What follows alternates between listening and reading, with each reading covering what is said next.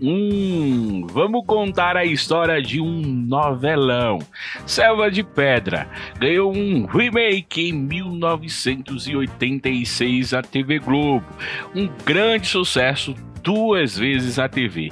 Mas como estão os atores? Hoje em dia, muita coisa mudou, eles se reencontraram e continuam talentosos como sempre. Você lembra? Não lembra? Eu vou te contar tudinho mesmo. Mas antes disso, curte o vídeo, comenta, compartilha, segue a gente. Bloco Social começando.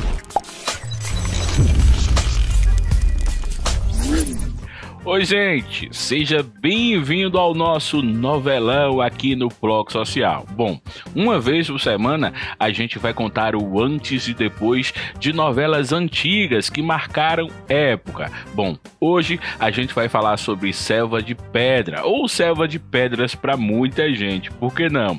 Bom, essa novela foi ao ar em 1972 pela primeira vez na TV Globo, mas em 1986 ela ganhou um remake com Cristiane Torlone, Tony Ramos, Fernanda Torres, José Maier e um elenco maravilhoso. Tinha a responsabilidade de substituir a novela Rock Santeiro que paralisou o Brasil e foi substituída pela novela Roda de Fogo. Bom, se você curtiu Selvas de Pedra, vai ficar relembrando. Se você não curtiu, deixa eu te fazer um resumo rápido. Tony Ramos vivia Cristiano Vilhena, que foi com o pai morar numa cidadezinha no interior do estado do Rio de Janeiro, mas que resolveu voltar à capital, a Selva de Pedra, o Rio, depois que cometeu um assassinato no interior.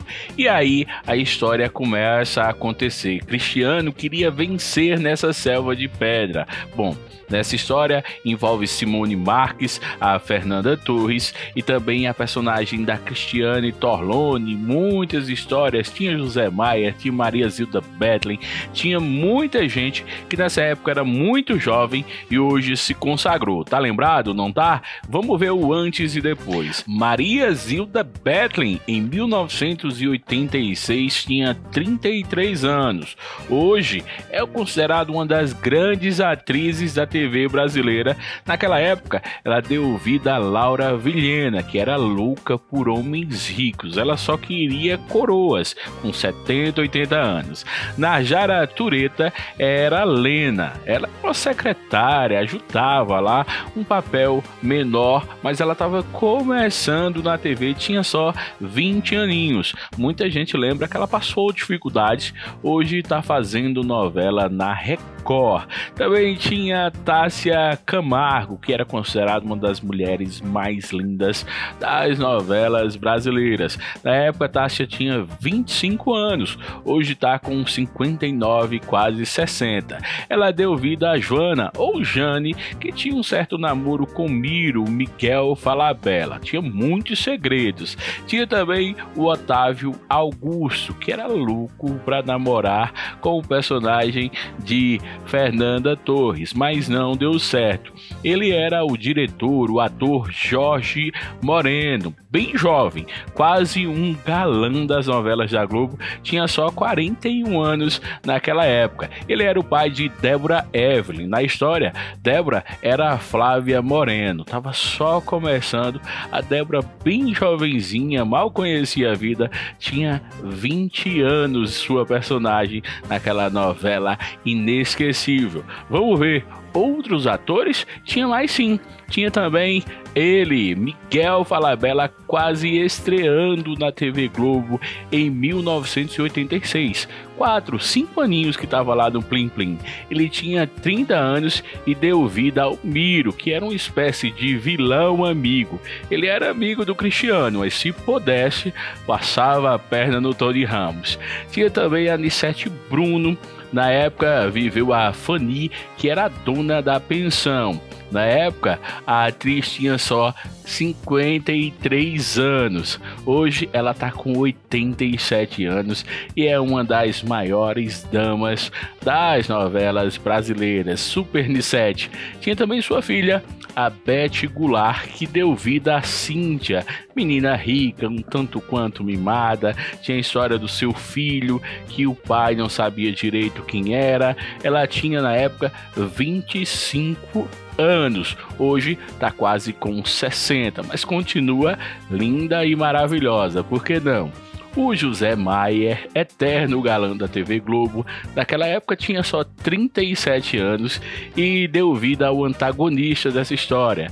Ele deu vida ao Caio Vilhena, que era rico, e Cristiano era seu primo, o Tony Ramos. Bom, ele viveu uma espécie de par amoroso com Cristiane Torlone, mas essa não foi a única história em que José Maier e Cristiane Torlone se encontraram. Tiveram várias outras novelas do Plim Plim. Como eu disse, Cristiane Torlone deu vida a Fernanda Arruda Campos, menina rica, bem criada, cheia de dinheiro, com uma super herança. Cristiane Torlone tinha só 29 aninhos. Hoje está com 64. Mas e aí? Olha só, essa dupla se encontrou em Mulheres Apaixonadas, viveram um casal feliz. Dessa vez, pelo menos, eles conseguiram se casar direitinho. Também se encontraram em Fina Estampa. Como esquecer Tereza Cristina? Pois é, José Maier não tá mais na Globo, foi demitido em 2018. Bom, Tony Ramos era disputado entre os personagens da Cristiane Torlone e da Fernanda Torres mas acabou mesmo foi com a Fernanda Torres, que viveu a Simone Marques ou Rosana Reis. Ela tinha 21 anos.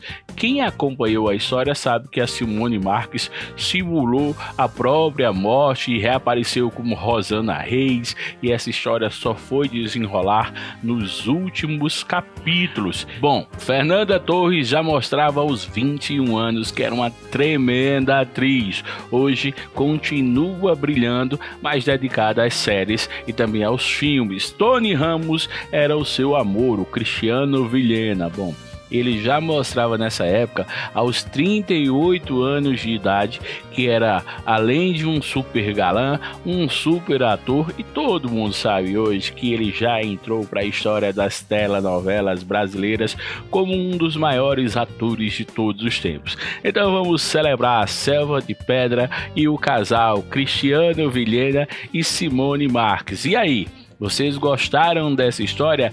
Que parte marcou vocês na novela Selva de Pedra? E que outra novela eu poderia trazer aqui da década de 60, da década de 70, 80, 90?